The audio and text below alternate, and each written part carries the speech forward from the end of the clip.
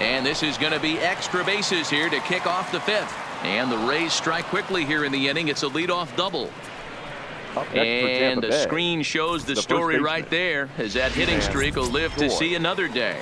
You know what, Matty? I don't see it ending anytime soon. And we got to take a look at the upcoming matchups, but this guy is absolutely locked in the plate, and I don't think anybody gets him to lose his toehold right now. First pitch is a slider called for a strike. Kiermaier stands at second with no outs.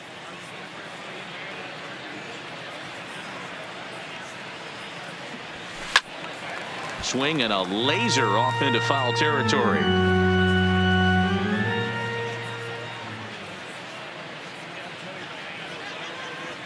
0-2 count. Here's the pitch. Swing, line, drive. That's going to be trouble. And now it'll rattle up against the wall. He pulls into second safely as a run will score on the play as well. Now that back-to-back -back doubles now, and that's a great way to get an inning going. The leadoff man shows him how it's done, and he comes right behind him following suit, lacing a double of his own. Could be a big inning if this continues. Standing in now, Zack Wheeler, as he'll take a look at a slider here that finds the zone for strike one.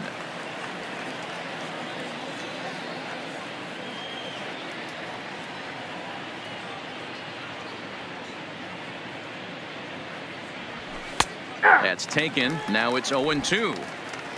A runner at second, nobody out.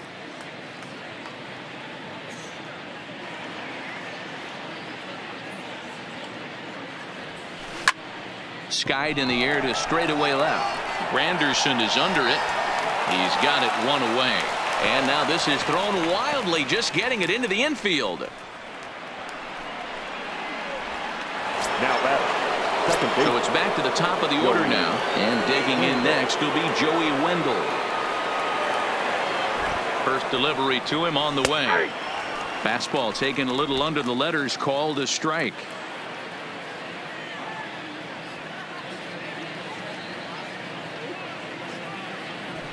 Fastball called for strike two.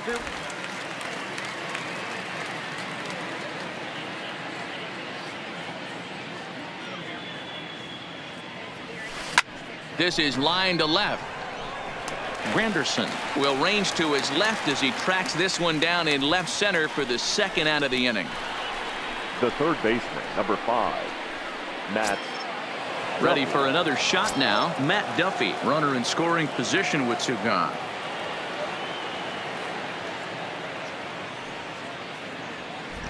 He's set. Here it comes. And he gets ahead here with the fastball. Strike one.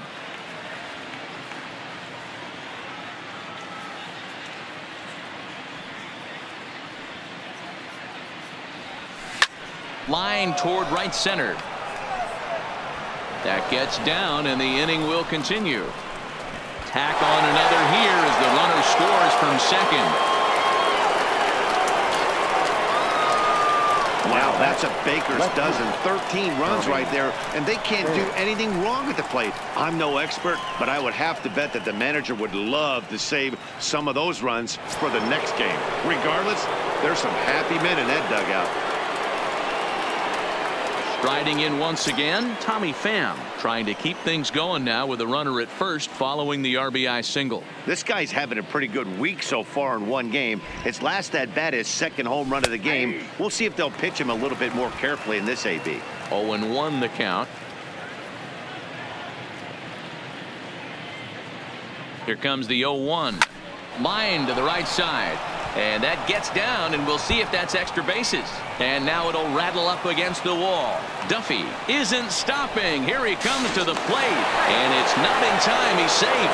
As also on the play, a run comes across to score. Man, I haven't seen an offensive explosion like this since I don't know when. It's been a combination of spotty pitching and inconsistent defense, and now they posted an amazing 14 runs on the board. Here now it's Mike Zunino.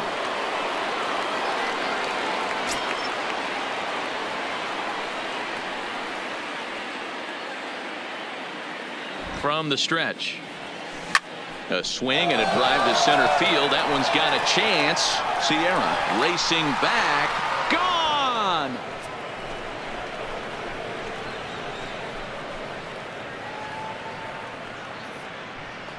Two-run shot to straightaway center. Home run number 47 thus far as they just continue to pour it on here. Well, he hit a homer last night, too, so it's obvious that he's in a groove right now. My advice to this staff, don't give him anything he can extend his arms on. You do, and he's going to make you pay for it just like he did. Up next for In Tampa now, Bay, Daniel Robertson. the shortstop, Daniel. As he will take strike one on the fastball here. No balls and a strike. He's got a hit in three at-bats to this point.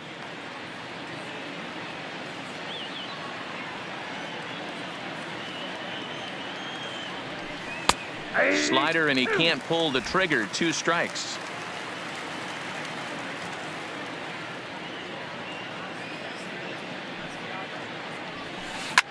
Hit hard back up the middle.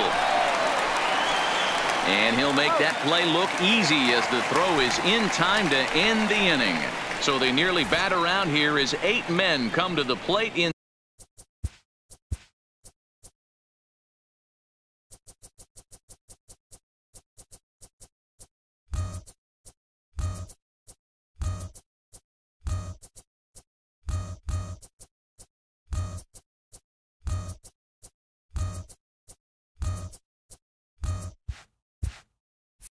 Scoring five.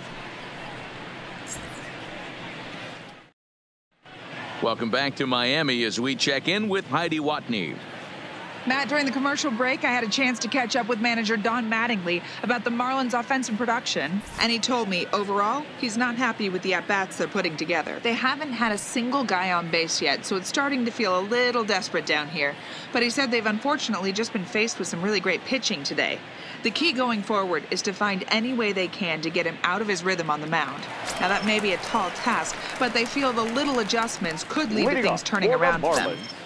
Marlins, the All left right, fielder, thanks, Heidi. So coming to the plate, Curtis Granderson. Granderson. He'll start things out here in the home fifth, and it's been tough sledding for this lineup through the first half of the game. Yeah, they haven't had any momentum going to the plate so far in this one, Matt. They need something to break their way and wake them up a bit. Be nice to get these fans involved at some point as well. Can you boys say next? Who's next up to bat? Because this guy's done. You cannot fall down 0-2 to one of the better pitchers in the league and expect to get a base hit. The He froze him on the fastball there. Neil Curtis Granderson is retired for the first out in the bottom half of the fifth. Neil Walker will stand in for the second time now as he looks at a called strike. It's nothing in one. And he fouls this one off. One out, nobody on. And it's fouled away.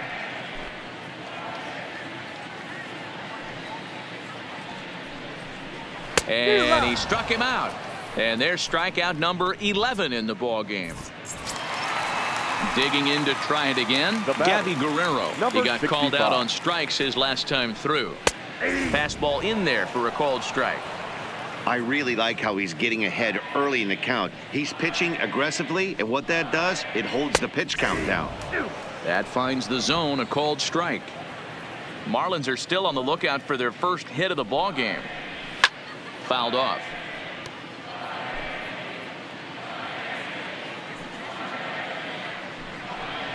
And he's got another one here. 12 punchouts now in the ball game, and that'll end the inning.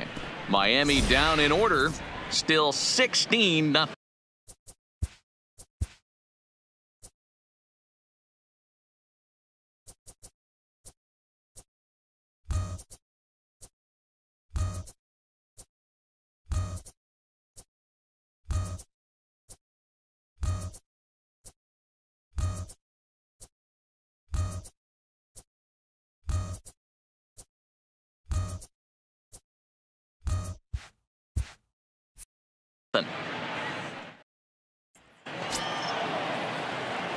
At the plate, Guillermo Leading off for the Heredia. He'll lead things off for Tampa fielder. here in the sixth. Guillermo Heredia. Here's the first pitch to him. Line toward the alley and left center. And he will run this one down, moving to his right, and that's the first out of the next inning. Jumped all over that The center first pitch of the inning, and he Kevin. didn't miss it. Just wasn't able to steer it in a direction that resulted in a leadoff hit. Standing in Kevin Kiermaier. As with one away, he can't make contact on the first pitch. It's strike one. He's working on a one for three thus far.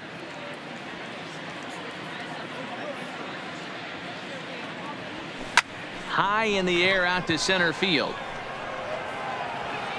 Sierra is there, two gone. Now batting. The first base. So two outs now in the Tampa Bay sixth. And that brings up the corner infielder Ji-Man Choi.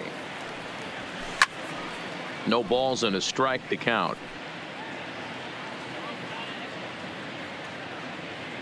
Into the windup. Here comes the 0 1. This is pulled into right. Guerrero is there, and they go down in a hurry here as his side is quickly retired.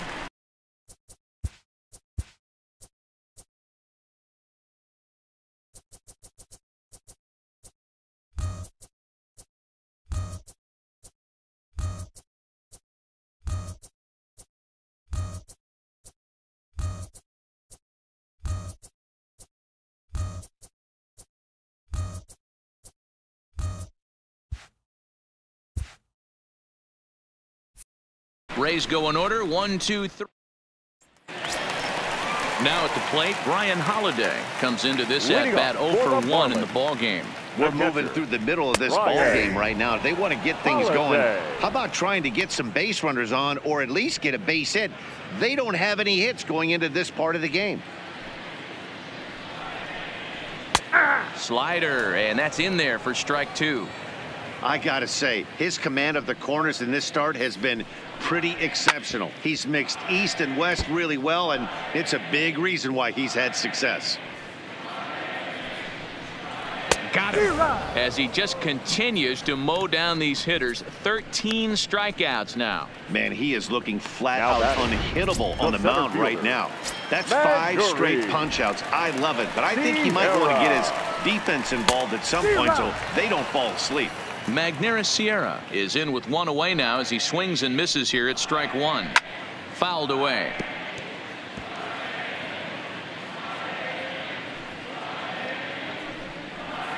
Struck him out and make it 14 punchouts now in the game. Matt, just about everything he's Ladies doing is working. All of his pitches, great command, great location, and the big key, with two strikes, he's attacking the zone. A high strike to begin the at-bat. It's 0-1. That batting average hovering in the high 230s. One home run and 11 RBIs. Clips it behind his back. Throw on to first gets him and the side is retired. One, two, three go the Marlins. Still 16 nothing.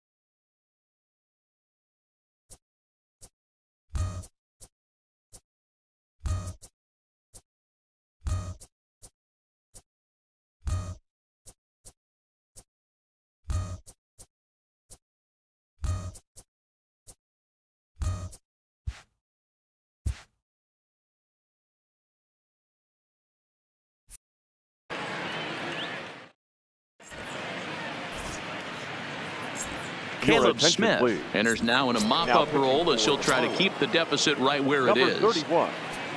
Up next for the Rays, Zack Wheeler. So far, two for three in this one. Strike one to start the at-bat.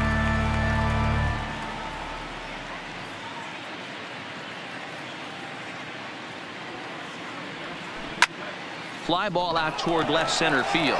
Giving chase is Sierra, but he isn't going to get this one, and the pitcher's going to have himself extra bases. And he is into second with a double, his third hit of the night.